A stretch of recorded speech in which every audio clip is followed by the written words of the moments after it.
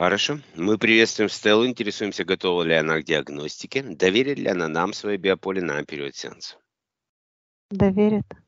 И я даю команду на счет 3. Сканер начинает сканировать пространство над головой Стеллы, под ногами 3 становится ее заложником. Один, два, три. Сканер начинает сканировать все семь тонких тел Стеллы. Стелла чистая, но у нее воронка в ногах, и это ее печаль. Она черным, черной энергией, как, как воронка в ногах э, скопилась. Хорошо, я даю сейчас команды сил моего намерения. Эта воронка выходит до последнего микрона из ее биополя. Один, два, три. И отправляется в клетку тюрьму. Готово. И на счет я выстраиваю канал от этой воронки и притягиваю возможных ответственных. Один, два, три. Нет ответственных. Она как черный дым. Это ее печаль сердечная, Понятно. которую она не может скидывать, и она уходит вниз, скапливается. А Надо учиться скидывать, конечно, такие вещи. Хорошо, я даю команду на счет 3. Открывается. Внизу портал в галактическое ядро. Эта воронка улетает в галактическое ядро на переработку в чистую первичную энергию. Один, два, три. Закрываю, печатаю, растворяю. Мне, знаешь, из э, сердечной чакры она выходит прямо вот это э, черное, черный дым потоком. Вот так вот. Сейчас? Не, да, не останавливается он. Переживание у него. Хорошо, Стелла, вы видите вот это все? Вы понимаете, что вам надо перестать переживать, наверное, как-то? Печаль какая-то. Ну, это самые низкие вибрации. Считай, сколько у нее сейчас герц? 12. 12 герц. Любой демон может войти на 27. Так, давай тогда сделаем следующее. Выдавим из нее все это, весь негатив. На счет 3, включая Стелли Галини. Внутренний белый свет. 1, 2, 3. И на счет 3 начинает она выдавливать из себя все эти негативные патогенные энергии, энергии печали, чакры и сердечной чакры, особенно до последнего микрона. Все переживания, все выходит до числового значения 100%.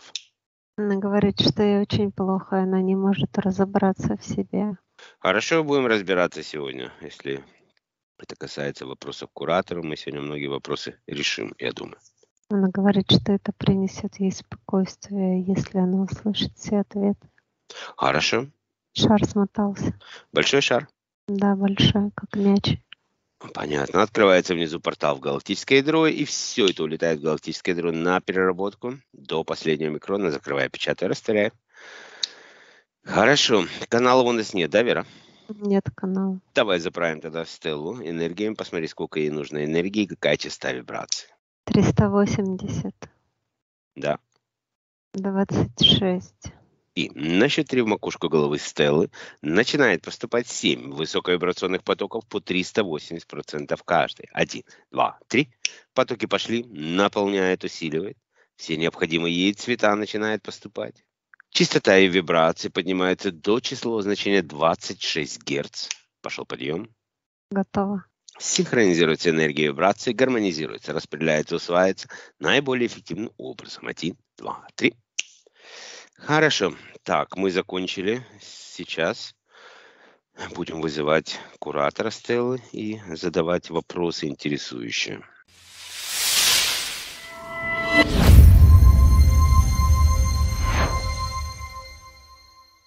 И я делаю запрос в энергоинформационном поле и приглашаю сюда прийти к нам куратора.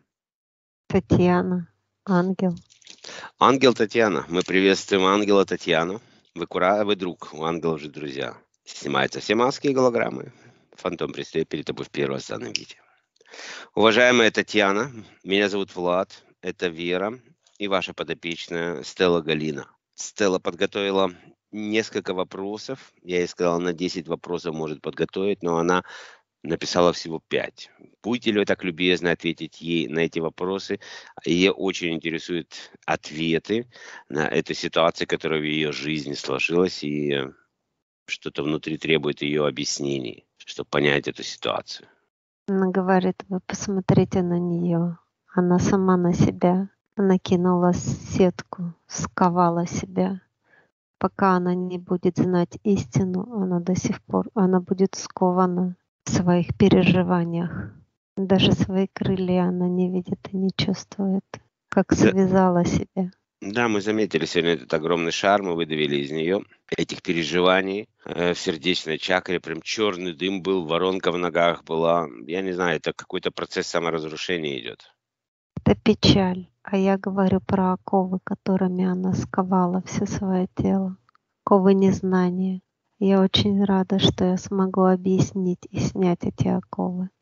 Благодарю вас, Татьяна. Мы тогда начинаем с первого вопроса, если вы согласны. Согласна. Из каких миров я пришла?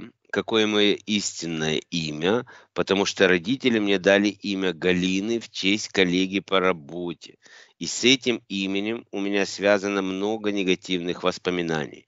Мне неприятно, когда его произносят, потому что на меня так кричали, оскорбляли, унижали с этим именем. Итак, из каких миров я пришла и какое мое истинное имя. И дальше она объясняла, почему для нее это важно. У тебя ангельская душа. Высшее имя тебе скажет только высшее я. Я расскажу твою историю, связанную с твоим именем Галина. Ты родилась в 1812 году в Западной Украине. Это была предыдущая жизнь на Земле. Твое имя было Галина. Ты была непослушным ребенком. Я бы даже сказала вредным. Делала все, что тебе заблагорассудится. Потом начался алкоголь. Ты бродила по странам. Румыния. Там ты вела разгульный образ жизни, знакомилась с мужчинами, пила, рожала детей, не из которых были твои родители. Ты не обращала на них внимания, бросала их. Часто они были голодные и спали на улице. Всего у тебя было шестеро детей. Ты не прошла свою программу. В этой жизни все вернулось наоборот.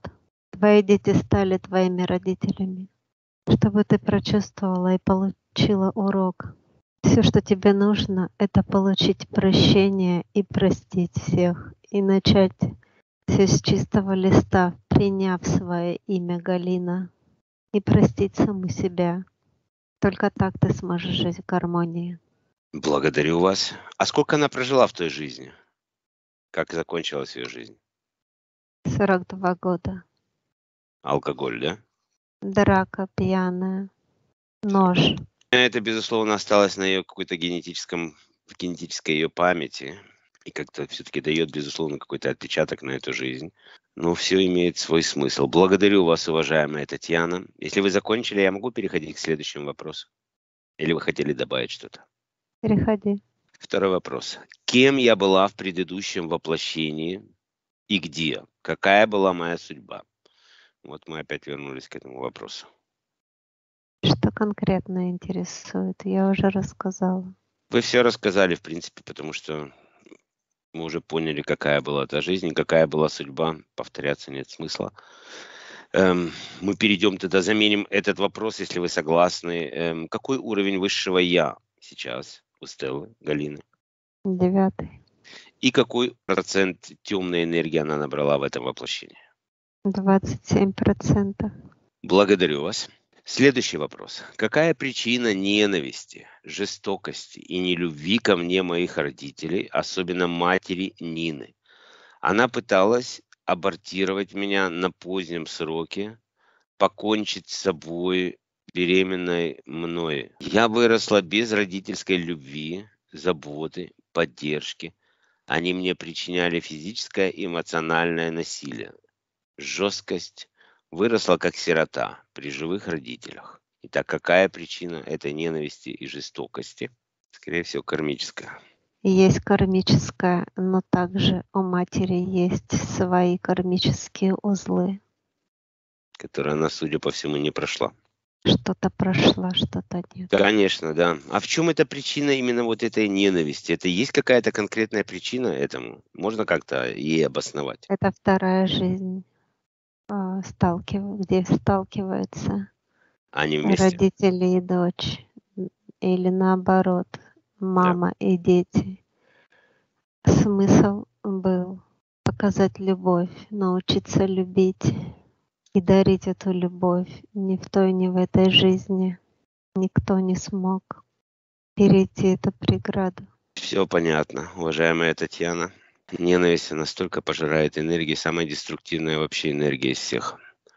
Хорошо. Следующий вопрос. Если вы закончите... Генетическая память Да, она остается, конечно. матери осталась, поэтому было. Насколько мы информированы, ее мать недавно скончалась, эм, поэтому ей важно сейчас все проработать, эту всю ситуацию, чтобы понять, скорее всего. Галина должна дарить ей свет.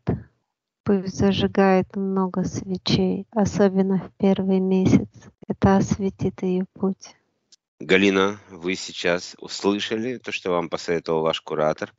Зажигайте, посылайте ей свет и любовь. Больше она ничего не может сделать на этом, с этого уровня, да, для нее. Дарите любовь, И дарите любовь. посылайте свет. Это останется в генетической памяти на следующую жизнь. И что-то сдвинется с мертвой точки.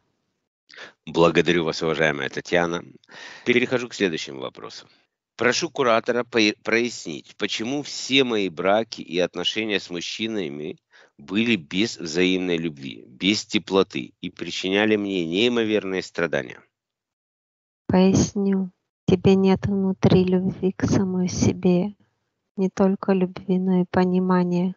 Пока ты не научишься принимать и любить себя, ты будешь выбирать неправильных мужчин и отношения, в которых нет любви. А если ей изменить что-то в своем характере, это надо, может быть, реакцию или как-то Это не обдумать? характер. Нет, а что это? Еще раз говорю, Не любовь к себе. самопринятие и любовь себя. Да. Должна принять себя, какой есть, простить себя и соединить Стеллу и Галину, принять Галину, какой она есть, полюбить и понять ее. И только тогда ты сможешь внести любовь в свою жизнь, внутри себя, как стержень. Мы видели и Стеллу, и Галины на практически астральном уровне. Это действительно две были несоединенные копии между собой. Мы когда ее чистили первый раз, сегодня мы проверяли, вы наверняка в курсе, вот, нас это удивило, это неприятие или отторжение чего-то там, я вот не помню весь сеанс, но там было отторжение и неприятие. Сейчас вы опять это озвучили. Благодарю вас, уважаемая Татьяна. Внутренняя сила должна быть, чтобы принять Галину, соединить со Стеллой и полюбить как одно целое. И вот только после этого, когда она себя такой полюбит, она сможет полюбить и других, и Когда у наоборот. тебя нет любви внутри к самой себе и идет отторжение, как ты сможешь дарить эту любовь или Принимать другие люди, включая мужчин, про которых был вопрос, они энергетически чувствуют пустоту внутри тебя. Поэтому там не может быть любви, когда ее нету в твоем сердце, к самой себе. То есть они на неподсознательном уровне ощущают какую-то пустоту. Они вот это тепло, которое называется Непринятие, непринятие, да. отторжение. Но не могут это объяснить, так как мы это сейчас объясняем. И они просто Не отворачиваются. и могут, но идет реакция от них, жестокости. Вот как. Оно проявляет, оно провоцирует Это практически. раздражает их пустота. Все понятно. Вот теперь понятно. Абсолютно. Благодарю вас. Здесь у нас следующий вопрос, если мы здесь закончили. Еще раз насчет матери. Мать умерла в сильной злобе на меня. Можно сказать, ее сердце лопнуло от злости. Я и так по жизни не получила я от нее материнского любви и тепла. Можно спросить моего хранителя, что за кармический узел? Можно ли его развязать? Как ее душа чувствует себя теперь?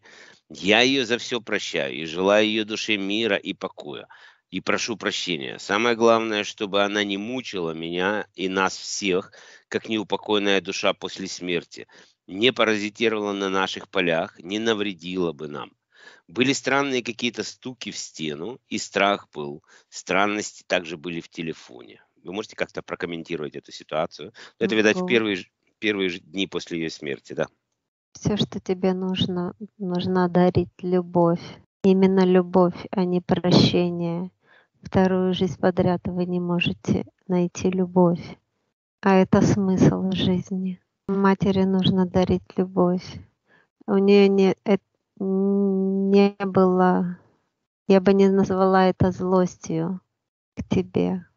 Это смешанные чувства отчаяния самой матери. Как я уже сказала, у нее были свои Кармические, кармические узлы и задачи. И она проецировала это на нее. Все, что за свою жизнь в ней накопилось, это сожаление, боль. Кошмар. Да, конечно, да, да. Но я Ведь понимаю... это даже зависть к тебе. Вот как. Но это не полностью злость. Там больше сожаление, что так сложилась жизнь. И, конечно же, злость больше на саму себя. Но она никогда это не высказала бы из-за своего характера. Вот как. То есть она проецировала на нее все свои неудачи, причем она лично была. Совершенно верно. И человек... Свои личные проблемы Да. Ну, у нас абсолютно верно, уважаемая Татьяна. Но когда в ситуации участвуют две души, здесь, возможно, и, и, и Стелла Галина что-то неправильно сделала в этой ситуации с матерью. Может быть, нужно было сделать первый шаг. Я как раз хотел это и Но сказать. прожитая жизнь не давала это. Все понятно, все И понятно. обиды. И Всегда сильно- трудно сделать первый шаг. Ну, конечно. Люди думают, что жизнь на Земле очень долгая, и они еще успеют. Гордость держит их. А на самом деле жизнь на Земле является одной из самых, по-моему, короткой во Вселенной, насколько я информирован. Могу ошибаться, конечно. Но наши какие-то 60-80 лет жизни на Земле – это уникальный опыт, который нужно все-таки получить и прожить, а это работа. То есть сделать первый шаг – это тоже работа. М, Ника- Абсолютно верно. Да. Только сильный человек может сделать первый шаг к примирению. Да. И последний вопрос. Какое напутствие даст мне мой куратор или передаст мне? Я бы хотела добавить по прошедшему вопросу. Будьте любезны. Первые дни душе даются время проститься по поводу стуков и телефона. Мать приходила проститься, она стучалась и смотрела за тобой. То есть я не она стоит... понимает все свои Понимаю. ошибки. Да, после смерти человек сразу осознает Не все. до конца. Нет, еще будет осознание впереди. проработка, осознание займет, безусловно, очень много времени, но то, что она приходила, это не тот знак, который она должна воспринимать как негативный, что она будет как неупокойная душа Нет. ходить. Она не Абс- будет беспокоить. Я Все, как что раз- нужно поставить свечи, мысленно отправить свет и любовь, но не ложную любовь, а искренне от всего сердца. Искреннюю от своего, от всего сердца, после того, как Галина найдет силы принять себя, принять свои ошибки. Много работы перед ней, уважаемая Татьяна, много работы. Надо себя проработать, надо сделать первый шаг. Если она не Ее жизнь изменится, она расцветет как цветок после этого. Это будет- проработка и осознанность. более Это серьезно. кармический узел, который она наконец закроет. Уважаемая Татьяна, мы закончили. На- От меня и от Стеллы, и от Веры примите, пожалуйста, нашу искреннюю энергию благодарности за вашу помощь. Я полагаю, и поскольку крылья не появились, нет смысла и, наверное, и активировать ей какие-то ангельские энергии. Или вы хотели ей что-то дать? Я бы хотела снять с нее эту сетку. Снимите ее. Вера, ты видишь эту сетку? Или это... Как она Я выглядит? вижу, она широкая, очень большими квадратами, но это не сетка на голове, это начиная от плеч, Да. ну, грубо говоря, сердечная чакра и ниже. Такие Понял. большие квадраты. И крылья ее я вижу, но они ск- скованы под этой сеткой, вниз опущены. И это она сама себе сделала. Конечно, мы чужим не могли это вытащить, потому что это было ей сгенерированное, собственное. Но Изнутри. это ее личное, то есть пок- она должна проработать это. По-любому, конечно. Но если ее здесь убрать и начать переработку, тогда будет нормально. Я такой сетки еще не видел, Татьяна. Она говорит, что эта сетка все равно останется, пока она не, рас, э, не проработает в себе эту проблему и расправит крылья. Хорошо. Благодарим вас. пока она не примет себя, не поймет, не полюбит.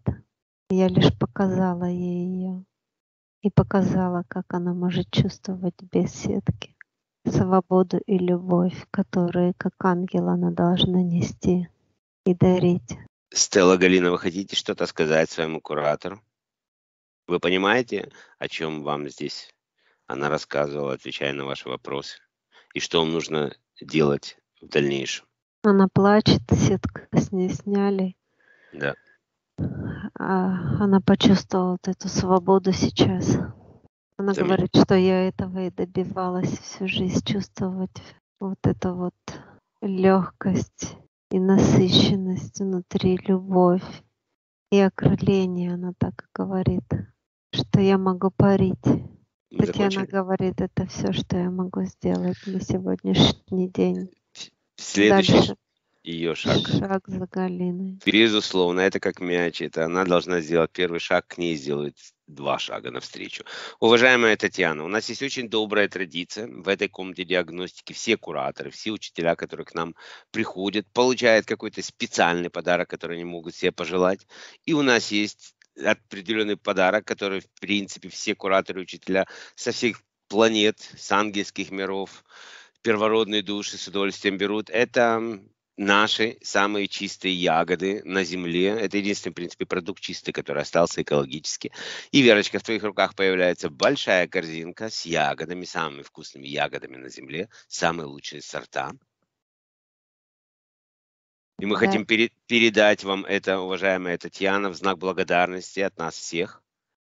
Это прекрасный подарок. Я с удовольствием заберу его в свой ангельский мир. Но перед уходом я бы хотела подарить Галине ангельскую любовь, наполнить ее и активировать ангельскую энергию.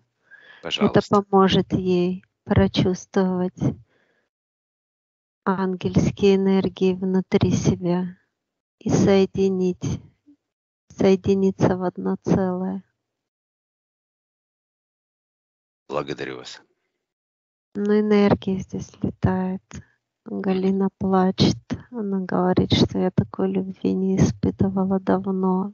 И я вспоминаю сейчас свой ангельский уровень.